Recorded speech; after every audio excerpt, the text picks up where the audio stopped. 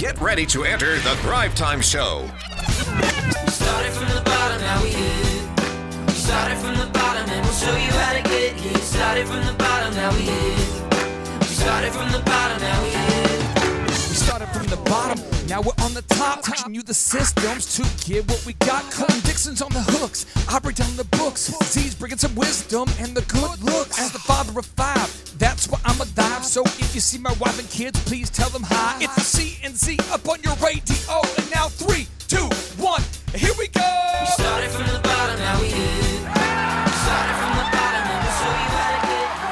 how are you, my friend? I'm happy. I'm glad to be here. This is fun. hey, I just want to throw a little quick, uh, little editor's note here. Uh, last night, your performance on the guitar was amazing, as always. Thank you. What's the name of your of your group, my friend?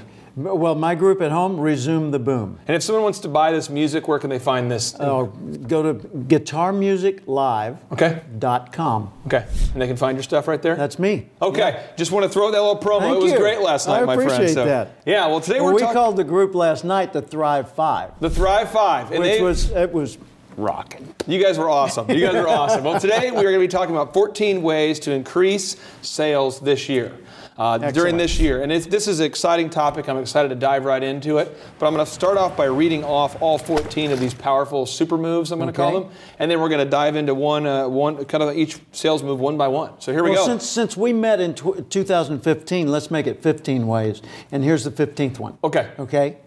Tune in to Thrive once a day, every day, and your sales will increase. I will say this, uh, uh, and I will say this. I know I'm obviously biased, but we have had countless thrivers I've talked to who've said, um, "Hey, just logging on there every day keeps my motivation from dipping. It keeps me motivated, and I get a new idea all the time." So Yeah. I, I can 100% agree and say that will absolutely work for you. So there we go. Thank you. So here we go. Um, move number one is prepare yourself to excel. Number Yeah. two, notice what is working. Three, know your competitive advantage. Four, improve your sales skill, not just your product knowledge. Five, target the people who are the best prospects. Mm-hmm. Six, know what to be curious about. Seven, realize who is your ideal customer. Eight, find the diamonds in your own backyard. Uh, nine, ask for specific referrals. Ten, grow your brand identity. Eleven, build a fortress of great relationships. Twelve, manage tension throughout the sales process. 13, give samples of the experience you represent. And 14, know when and how to ask for the order. Well, we're done. We're. There you go. And that, there that you go. concludes And today's that, episode. ep- that wraps another episode of Thrive Today. Well, here's, here we go. We're going to dive into this first one, okay? So Let's do. Prepare yourself to excel. Break it down like fractions, my, my friend. right. What do you mean by this? Well, I mean, if you prepare, don't just prepare, prepare to do an exceptionally good job. You know, when you're getting ready, it's not enough to just, you know, I got basically what I need, I'll wing it from here because Right. I've got the rest of this, I don't have to worry about it. No, no. If you're going to do a really good job, then prepare to excel because what you expect for the day tells you what you need to get ready for. If you expect excellence, you'll get ready for more. I think if you haven't seen excellence before, sometimes it's hard to kind of. Uh, example: When my wife and I first got married, uh, we basically She was excellent, you were not. That is true. Yeah. I had to trick Okay. her. Yeah. And so- but we were going to build a house, and Yeah. she had mentioned that she wanted to get nice countertops. And I had Mm-hmm. honestly never been to a home that had granite countertops. I'd never seen them. Ah. And so I had no idea what she was talking about. In your book, you kind of define, in my mind, like the granite countertops of sales here. you say, use a checklist to prepare your attitude, Yeah. appearance, customer information, company, and the product information and the selling environment so you can be at your best on every call. Use a checklist. Yeah. Can you break that down? What are you talking about? Well, think about a pilot and, and the checklist. That's the classic checklist. You know, the, the pilot before every flight has an exact checklist and must go over every item. They can't just say, yeah, been there, done that. They have to look at that uh, gauge and see that it's working and look at that lever and make sure that it is where it should be and so forth.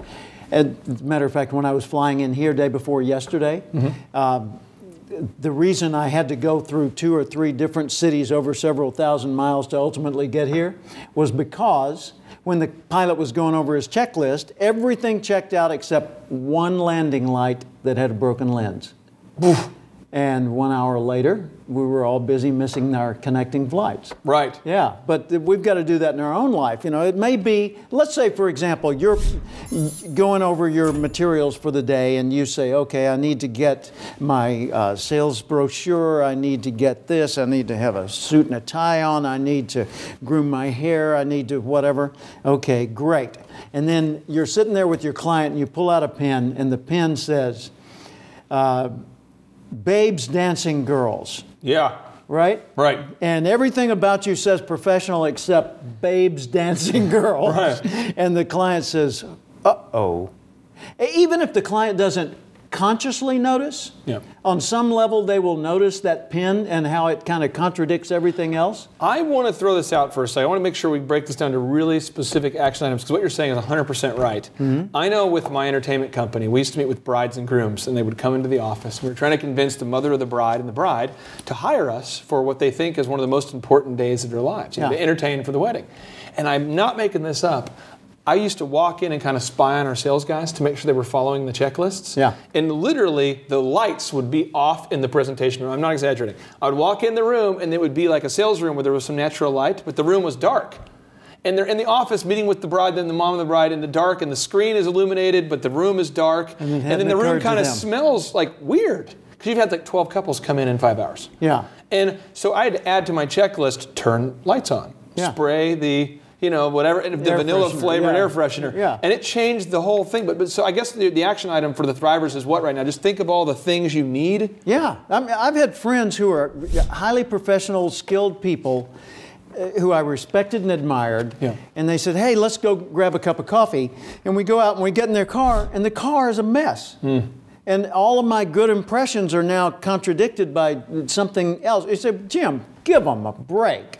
I mean, the car's a mess. So what? Well, here's what when we are, are looking, well, this is instinctive. When we're looking at any scenario, yeah. let's say you're looking at a crowd of people and you want to walk through that crowd of people to wherever you're going, your mind instinctively searches for threats. And the way we search for threats is we look for exceptions. We look at patterns, and if all the patterns seem to match and blend, we go ahead confidently. But if there's something standing out, kind of like the proverbial red flag, Yeah. right? We say, hey, wait, wait, wait a minute. Be careful with this one, right? Right. Because something's not quite right. Something- And a lot of times that's on a subconscious level. We don't notice it.